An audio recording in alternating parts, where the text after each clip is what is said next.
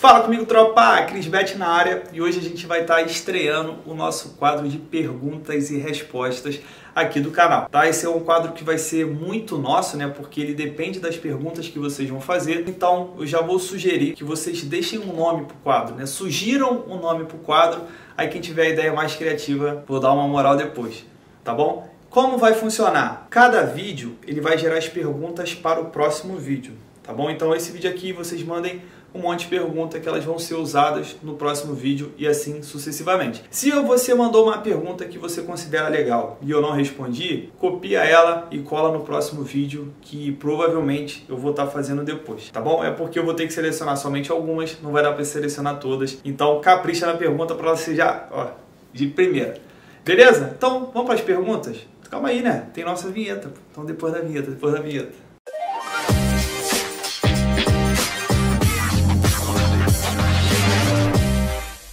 Bom, tropa, vamos lá. Deixa eu pegar meu celular aqui para ficar mais fácil pra gente. A primeira pergunta é do Felipe P. Trainer.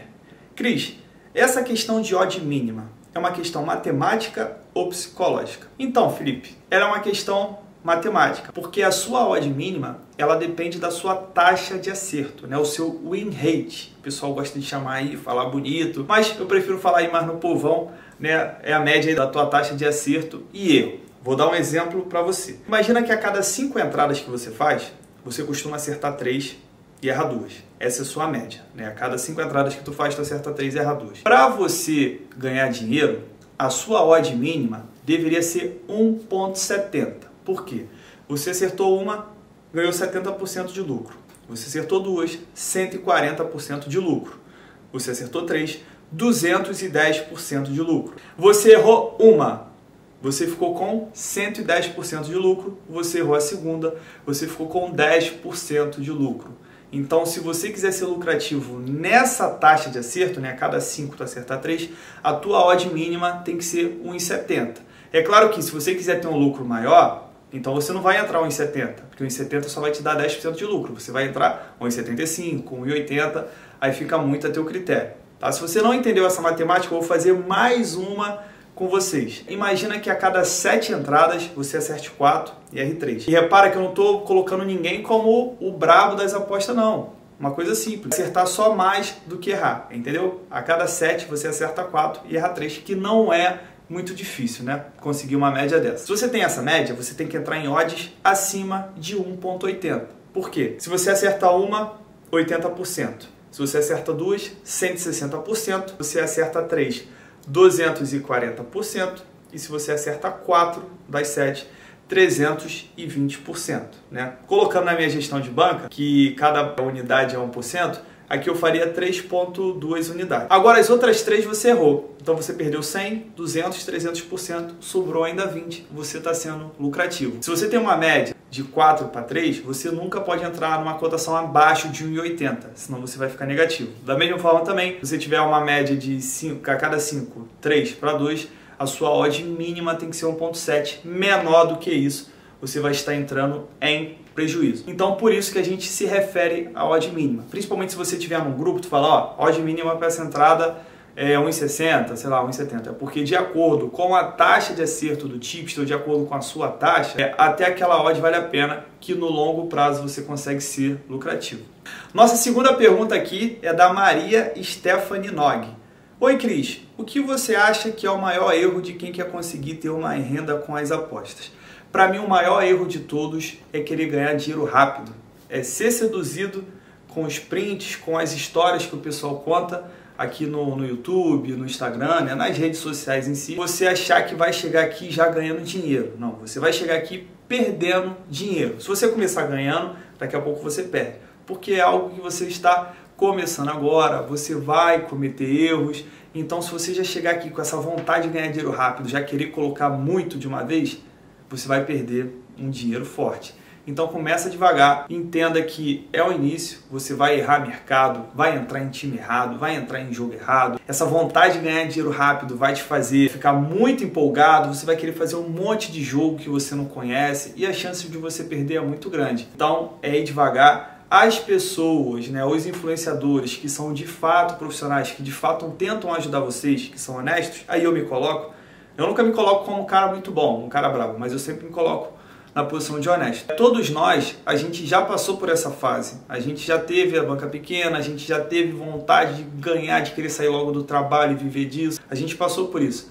Mas só crescemos entendendo que a gente tem que respeitar o nosso tempo. Então a gente tem que chegar devagar, chegar aprendendo e aí ir subindo aos poucos. Querer chegar aqui achando que tudo é fácil, que você entende futebol, que você vai ganhar e que vai tirar o sprint igual todo mundo, que você vai viajar para Dubai e tal, não vai dar certo, tá bom? Enquanto isso a pessoa já pegou o seu dinheiro, já era. Nossa terceira pergunta aqui é do Yedielson Coradini. Quais os melhores sites e aplicativos que você indicaria para analisar os jogos? Então, pode chamar de Ed? Fica legal, né? Ed, alguém te chama assim? Maneiro, né? A gente agora já tá, já tá indie. Então, Ed, é o seguinte, os melhores aplicativos que eu utilizo são os que eu mostro para vocês nos vídeos que eu faço. Que é, em primeiro lugar, o Radar Esportivo, porque é um site também que eu ajudo a desenvolver. A gente está procurando algumas melhorias que não é simples, né? A gente está tentando botar aí a parte de escanteios e cartões que todo mundo gosta, mas falta pouco, tá ligado? Falta pouco. É mais ali pra estatística de gol, estatística ali de quanto tempo tá sem vencer, quantas vitórias seguidas. Ali no radar esportivo você também tem informação, se você descer bastante a página, você tem informação de quantas vezes o time virou o jogo começando atrás do placar, qual a porcentagem de gols que ele leva no final, que ele faz no final. Então, assim, para resultados e gols ali, para mim, não tem jeito. Ali é o brabo. Agora, quando eu quero buscar escanteios, quando eu quero buscar cartões, eu uso muito o sistema do professor do La Casa de Tips. Né? É um sistema que eu indico para todo mundo, eu não ganho nada por isso, porque é algo realmente que faz diferença. Tá? Você tem estatística de gols também, de tudo, mas ali para cartão escanteio, na minha opinião, não tem melhor. Quase todos os apostadores que eu conheço que são profissionais utilizam essa ferramenta aí que ajuda bastante. Eu gosto também do SofaScore, que é um site, que é o site que eu utilizava no começo, também tem umas informações legais, assim, não completo igual o Radar Esportivo, mas tem informações legais. Gosto muito do Flash Score também, tá? Vai anotando aí, vai anotando aí. Flash Score também. Para é, times brasileiros, Globo Esporte, irmão, não tem jeito, é o melhor disparado. Globo Esporte, tu tem informação de tudo porque é um, é um noticiário ali que vive o esporte brasileiro. Então, tu quer saber se alguém machucou, se o técnico está pensando em um time titular, tu reserva. O Globo Esporte, para mim, é o melhor. E, sinceramente, eu não estou lembrando mais de nada agora, porque eu também não uso tanta coisa assim. Acho que quando tem muito, apesar de parecer que é muito, o que eu falei para vocês, não é, tá? São, são três sites, uma ferramenta e um site só de brasileiro. São cinco. Quando você quer pegar um monte de aplicativo, um monte de ferramenta disso, daquilo, não sei o que, não sei o que lá, você acaba se perdendo um pouco, né? Às vezes acaba gastando muito. Esses aí eu recomendo, tá? De, pô, 100%, 300%. Nossa quarta pergunta aqui é do PH Z22. Quantas vezes pensou em desistir? Essa pergunta aqui é muito boa porque às vezes vocês nos olham assim numa posição de estar tá ensinando, numa posição alta, né? Porque eu nunca gosto de falar isso, ah, tô numa posição alta, tô, tô no topo, não, não é isso que eu quero dizer. Mas vocês não nos olham assim como referência para vocês e pensam que a gente não, nunca sofreu, né? Vocês pensam que vocês estão passando por isso e a gente nunca passou, a gente já começou bem, isso aqui era pra gente, a gente nasceu com esse dom de apostar, de analisar jogo, e não é bem assim. No começo, cara, eu não conheço ninguém que não chegou a pensar pelo menos uma vez em desistir. Até a pessoa que você mais admira aqui, você pode ter certeza, em algum momento passou na cabeça dela desistir. Principalmente por quê? Porque antes a gente não tinha todo esse conteúdo que está tendo hoje. Cara, se eu tivesse na minha época o conteúdo que eu faço para vocês e de forma gratuita, pô, esquece. Com certeza eu teria perdido menos dinheiro, com certeza eu teria sido consistente mais rápido, mas antes não tinha, a gente batia muita cabeça, a gente tinha que aprender na marra. Acabou que depois de uns anos que o pessoal começou a fazer conteúdo e aí que eu fui começar a aprender de fato. Mas já pensei em desistir, né, principalmente no começo, porque a minha ideia era ganhar dinheiro rápido. Eu sempre fui apaixonado por futebol, então me descobri né, analisando o jogo, fazendo aposta, mas eu queria que aquilo fosse da noite pro dia, sabe? Eu queria já poder sair do trabalho, queria já me dedicar só a isso aqui, queria já poder apostar um valor alto, que só assim eu ia ganhar dinheiro. E na verdade não é assim. Coisas que envolvem dinheiro mexem muito com o nosso psicológico. Então quando a gente quer botar um dinheiro e perde, aquilo ali faz mal pra gente e dá essa sensação de recuperar e quando você viu você perdeu e você continua querendo recuperar e você vai perdendo cada vez mais. Aí você fala, ah, vou fazer gestão de banca, mas você não entende que tu tem o teu tempo. Não adianta fazer gestão de banca querendo subir do dia para a noite. Não vai, gestão de banca foi feito para o longo prazo, para você ir devagar, para você ir evoluindo as suas entradas conforme você vai sendo lucrativo durante os meses. Pô, passei um, dois, três meses lucrativo, agora vou subir de 10 para 20 ah, tô com 50, vou subir para 75. Só que até ter essa maturidade, até começar a criar um controle emocional de fato, a gente pensa muito em desistir porque a gente se frustra, né? Eu não sei se acontece com, com você, mas essa ilusão que vendem pra gente, né, das apostas de que é uma vida fácil, você tá na academia, você ganha dinheiro, essa frustração que a gente tem de ver e sair, de criar essa expectativa e quando entrar no cenário disso e a gente entender de futebol e mesmo assim perder dinheiro, faz a gente desistir, sabe? Mas eu vou ser para vocês, só é derrotado o que desistiu. Quem continua, quem tenta, quem dá o melhor, se vence, tá ligado? E a vitória, ela é mais simples do que parece, só que ela é trabalhosa. Quanto você se dedica para anotar todas as suas entradas? Eu anoto tudo que eu faço, tudo, sabe por quê? Porque no decorrer do tempo, eu posso ter a tranquilidade de olhar e falar, não, esse mercado aqui não foi bom para mim, essa liga aqui eu só estou perdendo dinheiro nessa liga, não vou fazer. Pô, esse mercado aqui tá show de bola, deixa eu ver o que eu posso fazer para melhorar, ou então manter do jeito que tá, que tá bom, mas eu só vou fazer isso tendo esforço, tendo trabalho, é anotando, é depois comparando minhas entradas, analisando, avaliando o time, buscando informação. É assim. Assim a gente consegue viver disso, assim a gente consegue pelo menos fazer disso uma renda extra com bastante trabalho. Mas essa frustração de achar que é fácil, de achar que é a nossa vez, faz a gente pensar em desistir. E eu pensei algumas vezes, é porque não é do meu feitio querer desistir. Eu sou muito, tipo assim, eu vou conseguir fazer aquilo de qualquer jeito. É igual quando eu quis criar o canal. Eu falei, não, eu vou aprender a editar de qualquer jeito, eu vou aprender a fazer um, uma capa, eu vou dar um jeito, mas as pessoas precisam me ouvir. Eu tenho coisas a passar, experiências que eu tive, experiências próximas a mim de pessoas que tiveram também experiências ruins que eu preciso alertar. Então foi na marra, acabou que o canal deu certo, e por aí vai. Porque acabou demorando né, essa, essa resposta, mas espero ter, ter contribuído aí com a sua pergunta. Nossa quinta pergunta é do Guilherme Campos. Qual o valor de uma banca ideal para conseguir uns dois mil reais de lucro todo mês? Então, Guilherme, essa pergunta aqui eu trouxe para a galera porque ela já é formada completamente errada. Isso aqui é uma renda variável, você pode ganhar como você pode perder também. Nada te garante que você vai ter 2 mil de lucro no mês. Você pode ter 2 mil de lucro no mês, no outro mês você pode ter menos 2 mil, pode ficar no zero a zero. E é o fato de você acreditar que a gente pode ter dinheiro certo aqui Pô, o que eu preciso fazer para ganhar mil reais todo mês? É o fato de você acreditar nisso e você é enganado, né? Que as pessoas são enganadas, que você entra nessas pirâmides aí que o pessoal chama de broker. Ah, entra no meu broker, 5% garantido por mês. Nada. Ah, entra no meu robozinho aí, é garantido. Isso é tudo coisa de gente safada, sabe por quê? Porque renda variável não é garantia de lucro. Não tem como eu te prometer nada aqui, não tem como você acreditar que todo mês você vai ganhar dois mil reais. Tem mês que eu ganho aqui 20 mil reais, tem mês que eu ganho 40 mil reais, mas tem mês que eu perco 5, pô.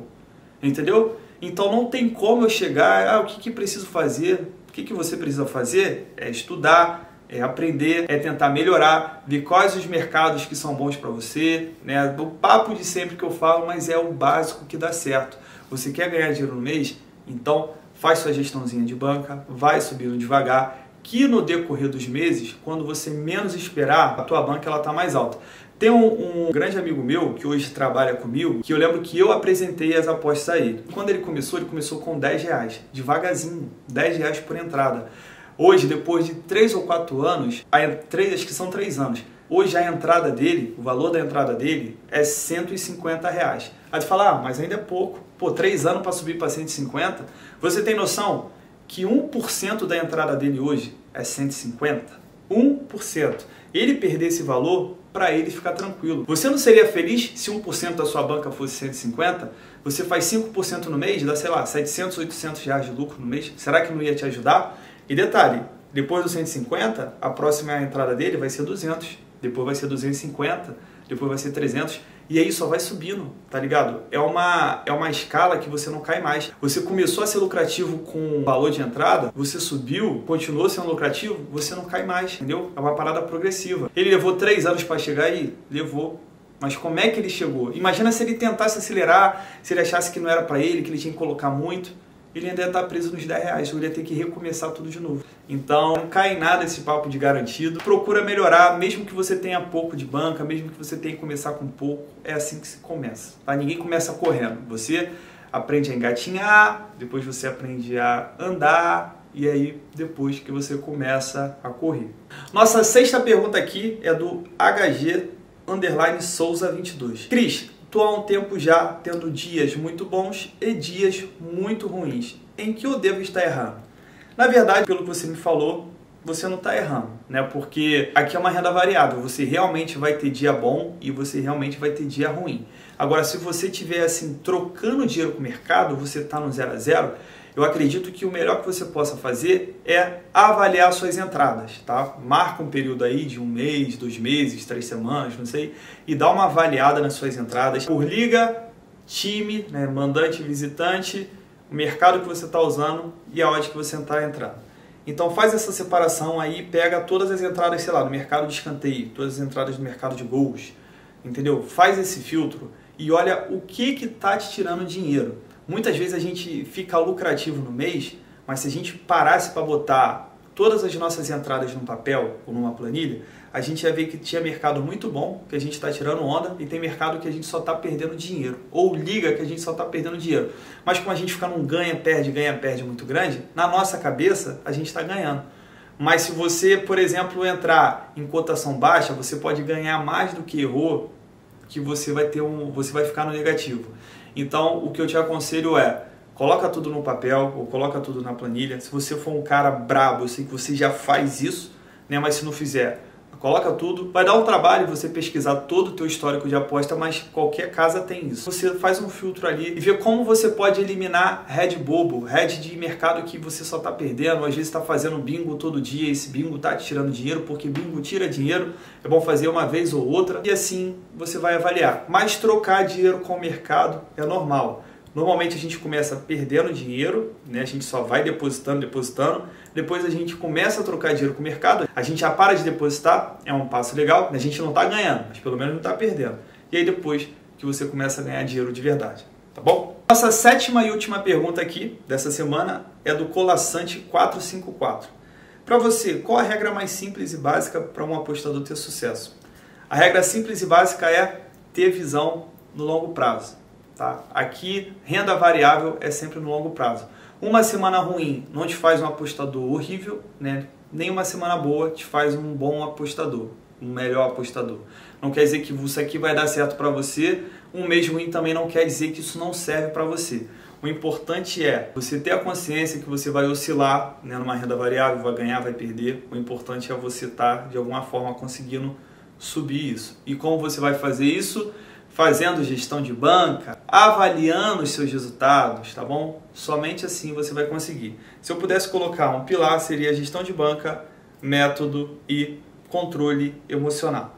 Tá? A gestão de banca vai te impedir de apostar qualquer valor, né? vai te ensinar a gerenciar o seu capital da melhor forma possível para que você não possa quebrar. O método é o que vai te fazer gerar bons investimentos né? a partir das suas avaliações pela gestão de banca você vai começar a ajustar os mercados que você é bom, que você pode melhorar, os mercados ruins para você não entrar de jeito nenhum, e você vai ali ajustando até criar métodos, né? até criar padrões de entradas que dão certo para você. E por último, o controle emocional. O controle emocional te faz enxergar no longo prazo, o controle emocional vai te dar tranquilidade quando você levar um head, você vai entender que é apenas um, um head, né? que pode ter sido de uma análise ruim que você precisa melhorar, ou também pode ter sido de pô, de futebol. Essa é a palavra, futebol. Você fez uma análise, o time jogou pra caramba, amassou, mas nada deu certo. A bola não quis entrar, perdeu pênalti, o adversário só deu um chute, fez um gol, faz parte.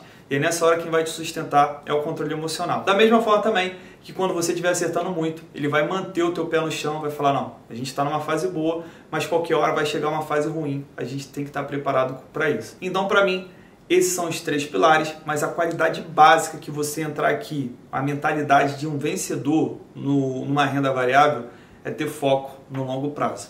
Valeu? Então é isso, tropa. Fechamos aqui o nosso primeiro quadro, nessas perguntas e respostas. Eu espero de coração que eu tenha contribuído. É importante vocês mandarem suas perguntas, porque a dúvida de um pode tirar a dúvida de outra pessoa, algo que a pessoa está passando ali, está precisando dessa dica. Então, conto muito com a ajuda de vocês, porque esse quadro ele só vai continuar se eu tiver pergunta para responder. Então, ó, senta o dedo aí no like já e depois faça sua pergunta, tá bom? Nos vemos no próximo vídeo. Tamo junto, muita fé, pra cima!